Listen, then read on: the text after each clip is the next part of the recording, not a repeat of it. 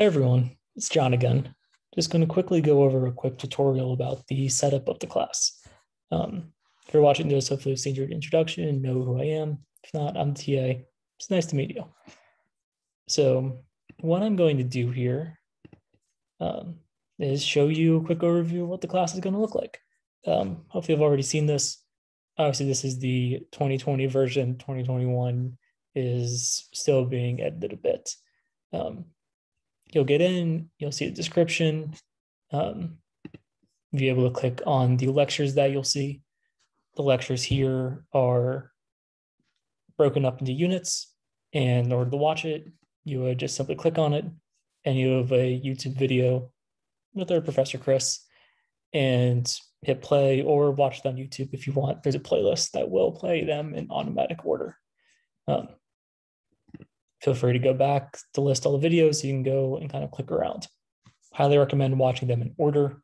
Um, they do reference each other. Um, so if you start bouncing around and say you miss a Hamiltonian path, that's probably going to come up in polynomials and exponentials. So make sure make, make sure you're in order. It'll be a lot easier. Um, a few supplemented supplementary materials just for some interesting questions. Um, the frequently asked questions, please take your time and go ahead and read it. Um, there's a lot of information here, and all of it is incredibly good to just read over, make sure you understand it. Any questions, obviously, let me know. Um, there's also a course schedule here in this um, particular section. Now, the thing I really want to highlight and go over is this tab, the My Progress tab. Um, you will have five exams, and each one will be um, kind of submitted through here. This is how you'll be able to see how exactly things are being taken care of inside the course. Now, this is from last year. Um, I technically didn't submit anything, even though I was a TA for last summer. Um, just bear with me on my poor grade. I guarantee you I know this stuff or at least well enough to not have a zero. um, so what you'll see here is that when things are submitted, you'll see a check mark. Um, and eventually when things are graded, you will see your score. Um, submission obviously be right here. The review section, this is the part I want to go into detail with.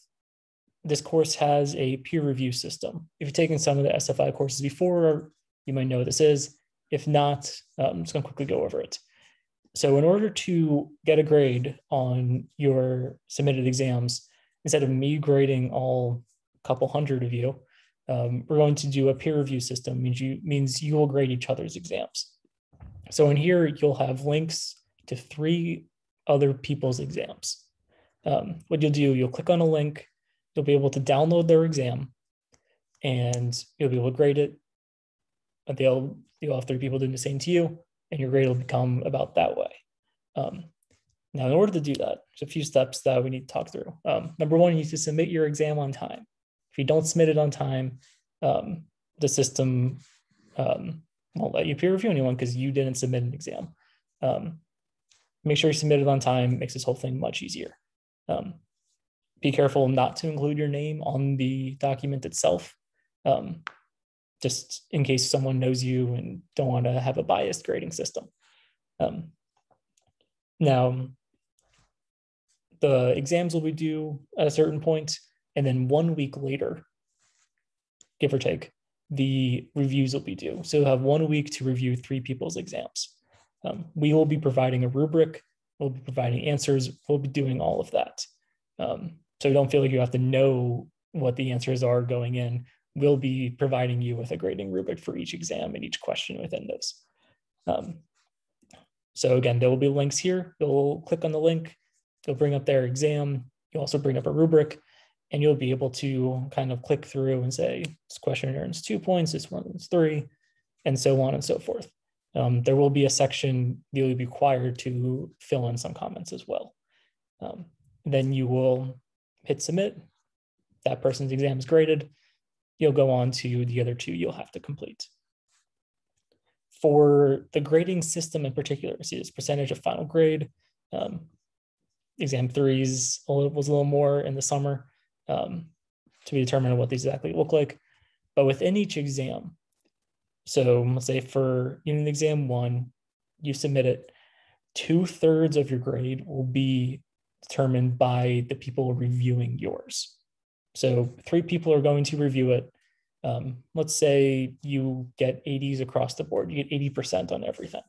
Um, that means through other people's reviews, you have earned 80% of 66.6%, or it's 53.3%. Um, and that's just from your peer reviews.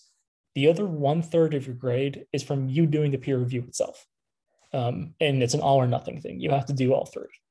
Um, so if you peer review all three of the exams that are given in this box right here, you will earn 33.3% of your grade.